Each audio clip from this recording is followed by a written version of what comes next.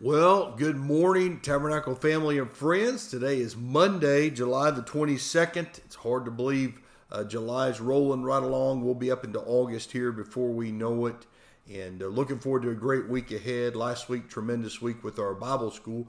Our Monday devotion, our Monday minute comes from Isaiah chapter number 55. I want to read verse 6 and then verses 8 and 9. And uh, I can't develop all of this text, but give us a little thought from it there. Verse 6 says, Seek ye the Lord while he may be found, call ye upon him while he is near. This is Isaiah 55, verse 6. And then verses 8 and 9, the Bible says this For my thoughts are not your thoughts, neither are your ways my ways, saith the Lord. For as the heavens are higher than the earth, so are my ways higher than your ways, and my thoughts higher than your thoughts. And the thought I would leave us with today is the, the idea of trusting and obeying, the, the idea of realizing that uh, God is at work even when we don't understand it, and even when we don't uh, see what's going on. That that as God is working, He desires a a response from our life. And a lot of times, our response is opposite of what it should be.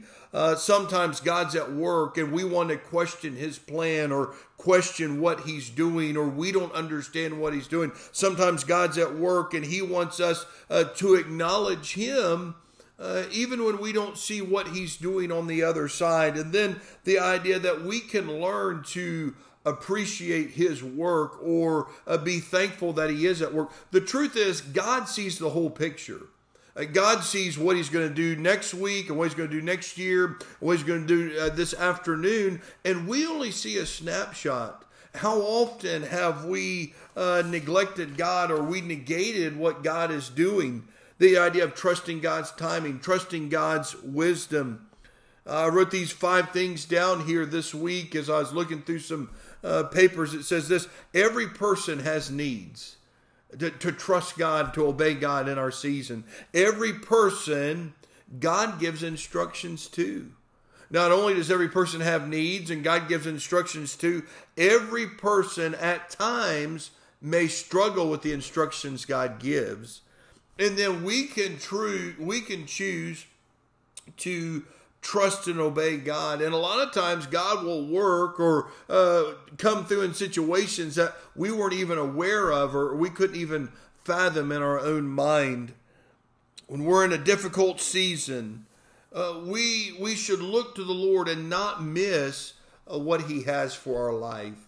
Oh, what a needful reminder of the season we're in to look to the Lord, to trust the Lord, to obey the Lord, to uh, be mindful that He's at work. And so often we're so nearsighted or we, we don't understand, we don't see the big picture. Isaiah 55, 8, 9, For my thoughts are not your thoughts, neither are my ways your ways, neither are your ways my ways, saith the Lord.